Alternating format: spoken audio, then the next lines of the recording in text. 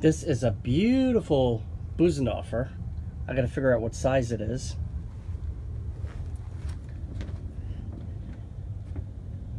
I just traded my Mason and Hamlin for it. awesome. Has a Viennese action. All 88 keys.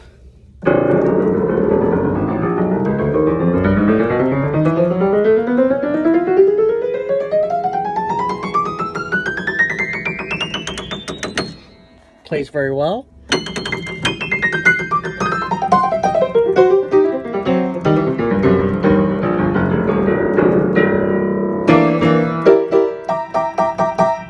Left hand.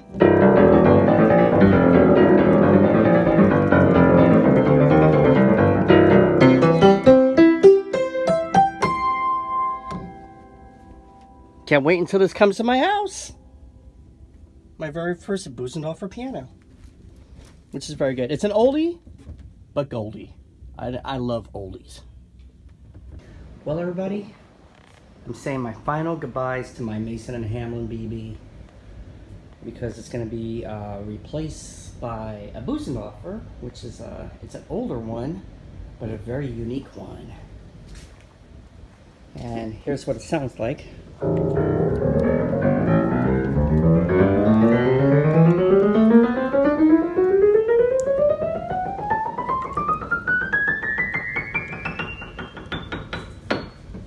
Some hammer work. And such a great piano. Such a great piano. So, I already made a video on this piano. And um, I'm to make a new video of the Bösendorfer when it comes to the house. I'll see you guys.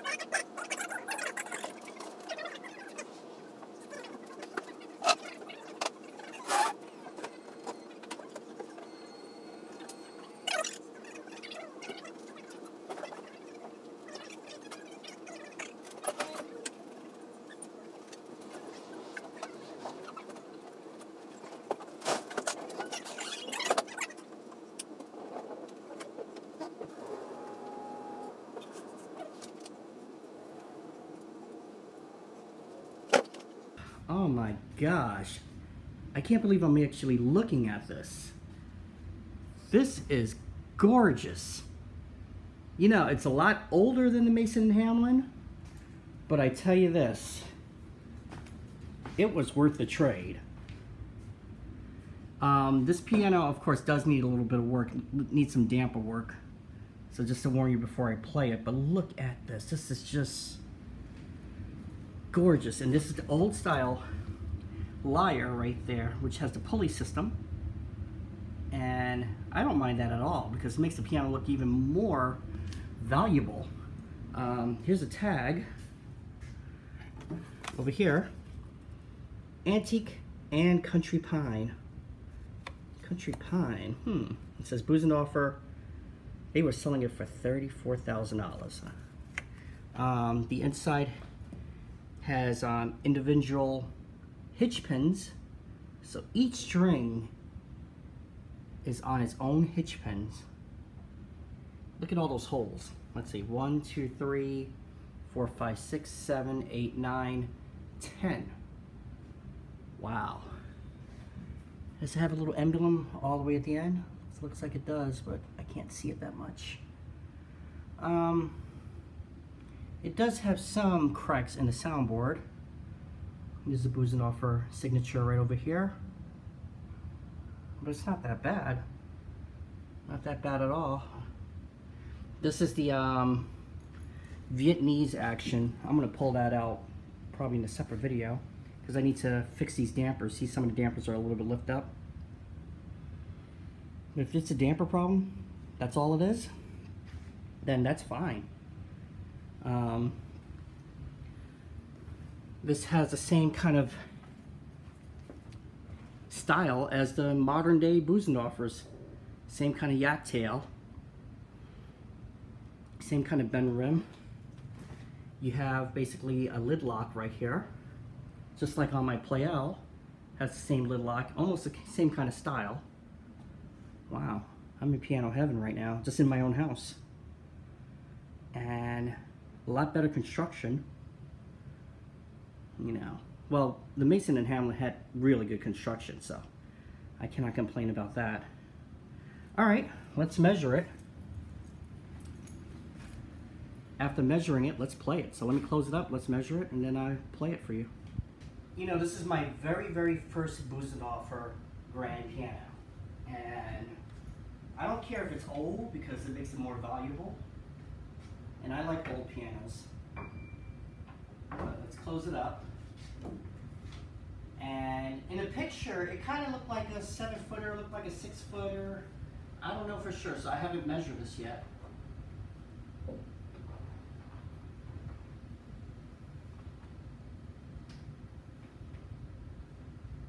Finish is absolutely beautiful. Let's see what we're gonna have to go through. Oh, don't want that to scratch it. So from right here,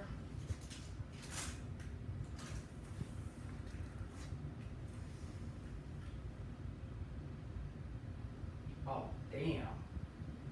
You're shitting me. This is a full seven footer.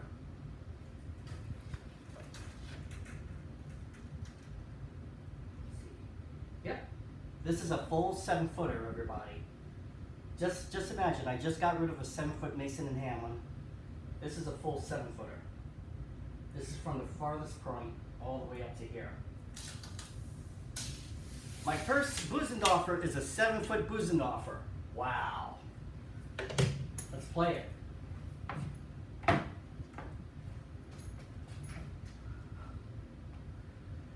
Just want to see here. Yep, has the extended soundboard area. It cuts in just like the Pleyel does. So all three pianos have extended soundboards. So beautiful. I'm not going to use a music desk, but it's so great.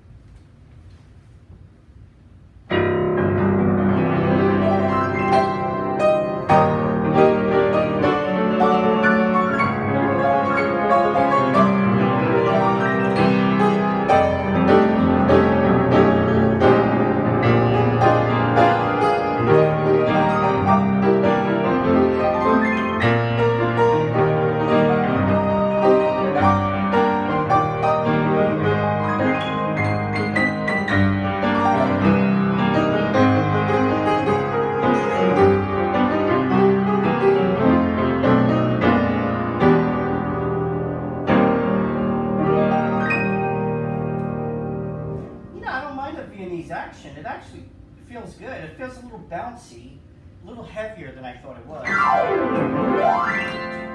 Jace. You hear what I mean by the uh, the dampers. It needs um, new damper work, which is no problem. I'll stick my friend Dean on it.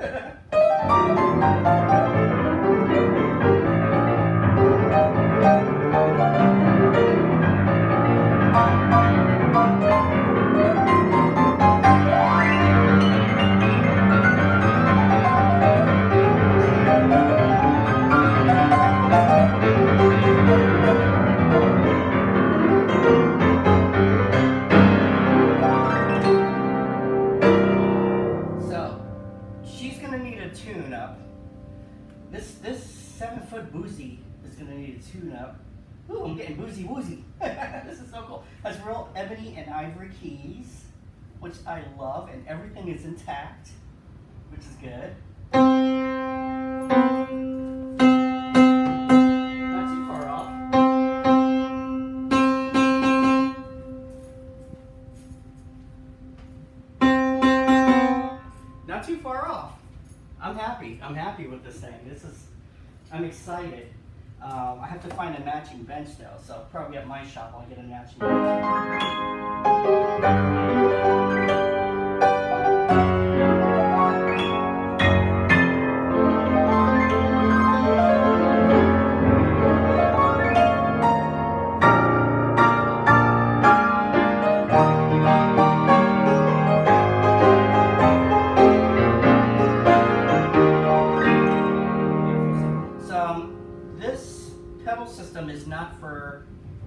For heavy um, pedaling.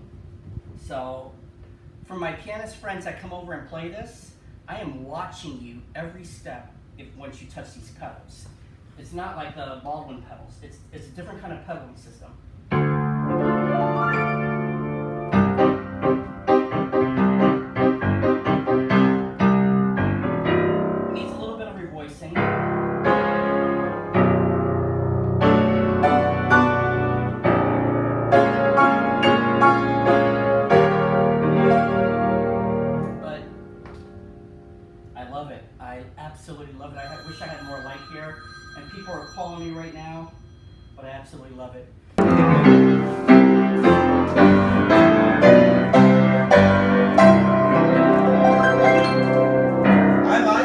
Play play a song.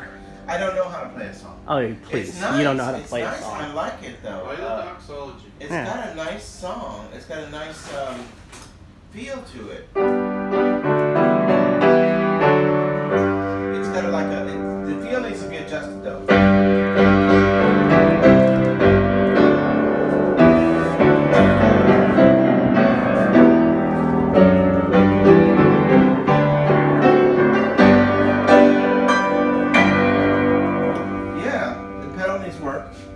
Yeah. well, the pedal and the dampers. Yeah. Um, and that's that's easy to fix. Yeah, I like it. It's got a nice feel to it. Yeah. Nice Let's, piano. It's our first Bösendorfer. I like it. Mm -hmm. Hey everybody out there, this is Kris Nicholson. I took out the action of the Bösendorfer and as I said, first I thought this was a six footer. I measured it. It's a full length seven footer. Um, very, very rare too. I didn't see any models just like this one.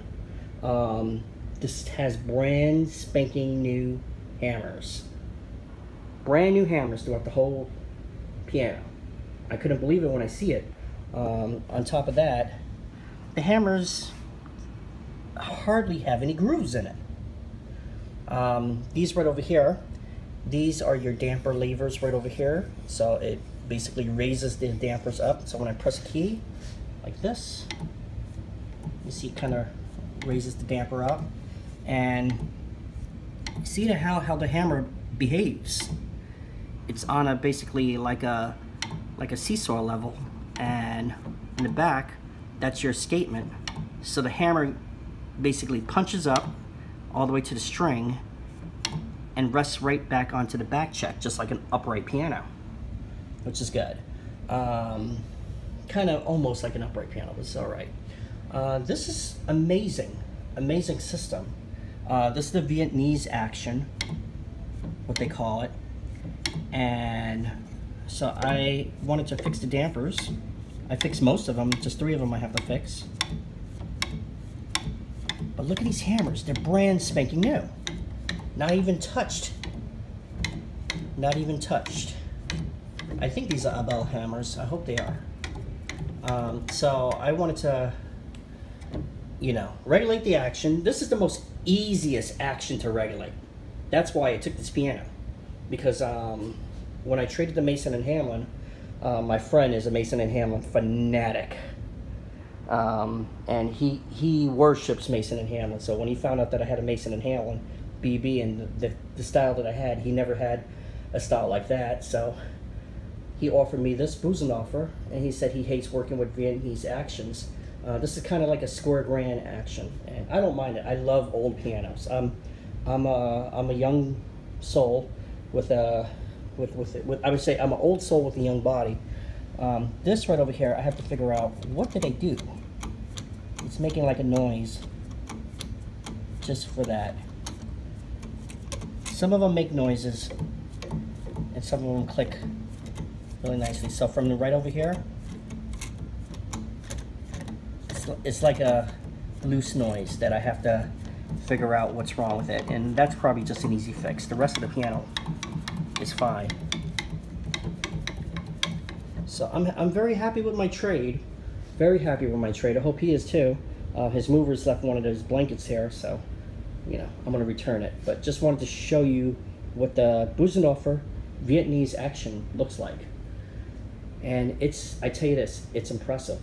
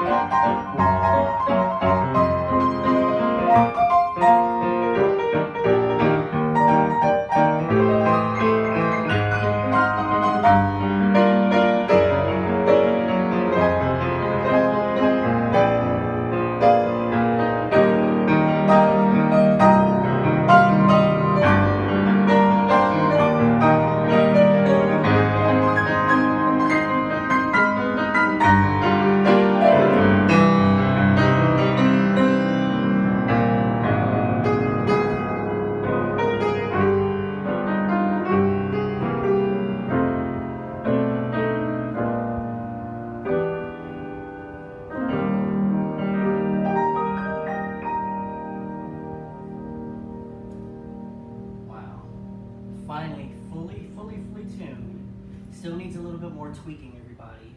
Um, the action needs a little bit more regulation, which is no problem, but I absolutely love it. Sorry about the lighting. Um, so I just fully cleaned it, I tuned it. Um, it was a little tricky to tune because of the uh, damper system on here. And I'm still in the process of fixing the dampers. Um, there's one pedal that goes right and left, so I have to take off the lyre and fix that too. But this piano is such a great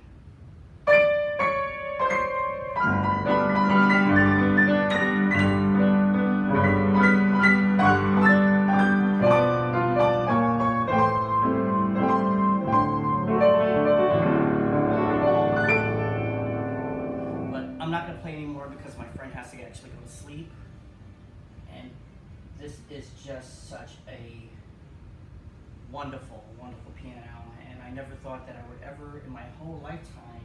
get any of the pianos that I have. Um, Bösendorfer, you know, and stuff like that. I miss the Mason, but I have plenty of Masons at the shop. So don't worry, I have more Mason and Hamlins at the shop. But the Bösendorfer, whew, wow, unbelievable. A dream come true. I can scratch this off my bucket list. I'm happy. Thank you, everybody. Have a nice day.